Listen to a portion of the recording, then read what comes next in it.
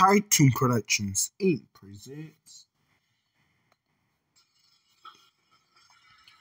Stickman, a Stickman Black White Sound cartoon. Stickman, and there is a traveling in this town, in Stickman's Toontown.